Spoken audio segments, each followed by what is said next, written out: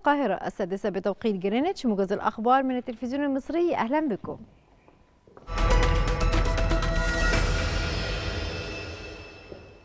وجه الرئيس عبد الفتاح السيسي بإيلاء الاهتمام اللازم لتزويد مدينة السيارات المتكاملة بالمرافق العامة بكافة أنواعها وذلك لاستيعاب التدفق المتوقع من الزوار والمترددين وتلبية كل احتياجاتهم.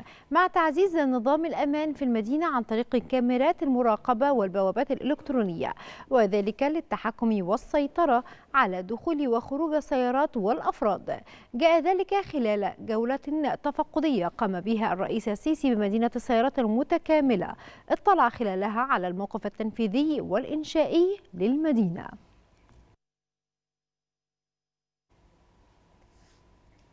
يحضر الرئيس عبد الفتاح السيسي صباح اليوم إطلاق الملتقى والمعرض الدولي الأول للصناعة الذي ينظمه اتحاد الصناعات المصرية في مركز المنارة للمؤتمرات وذلك بمناسبة مرور 100 عام على تأسيس الاتحاد. ومن المقرر أن يشمل المعرض الذي يقام تحت رعاية الرئيس السيسي عددا من الأجنحة الضخمة للصناعات المتنوعة وعلى رأسها قطاع الصناعات الهندسية وصناعة الآلات والمعدات والماكينات. قالت وكالة موديز الدولية للتصنيف الائتماني إن الاتفاق مع صندوق النقد الدولي يعزز فرص التمويل لمصر وأوضحت موديز أنه من المحتمل أن يؤدي حصول مصر على برنامج صندوق النقد الدولي إلى إضافة 6 مليارات دولار إضافية للدخل الرسمي مما يسهم في تلبية احتياجات التمويل السنوية للحكومة بنحو 10 مليارات دولار. أعلن البيت الأبيض أن الرئيس الأمريكي جو بايدن سوف يشارك في قمة الأمم المتحدة للمناخ كوب 27 المقرر أن تستضيفها مصر في السادس من نوفمبر المقبل في مدينة شرم الشيخ. وأضاف بيان للبيت الأبيض أن الرئيس جو بايدن سوف يشارك في قمة المناخ في شرم الشيخ وذلك ضمن جولة خارجية يقوم بها إلى مصر وكمبوديا وإندونيسيا. التقى وفد من تنسيقية شباب الأحزاب والسياسيين عددا من قيادات الكنيسة الأرثوذكسية والكاثوليكية في محافظة أسيوط.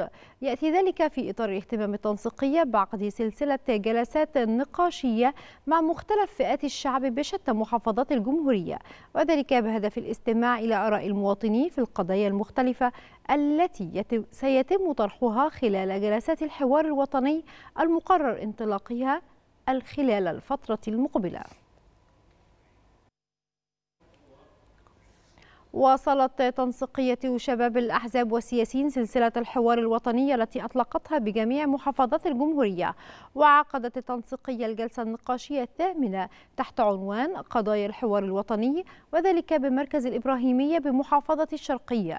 من خلال اللقاء مع بعض الأهالي والفلاحين الممثلين للمركز والمجتمع المدني.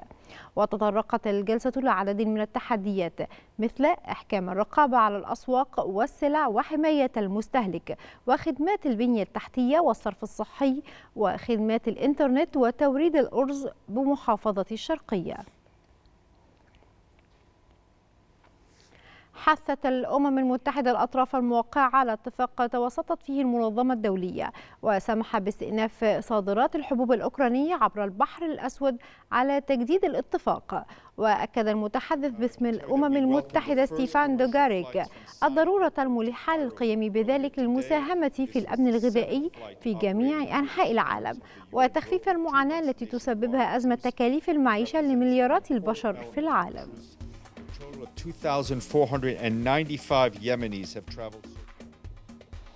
ختام موجز الثامنة فاصل ونعود لحضراتكم لاستكمال باقي فقرات صباح الخير يا مصر.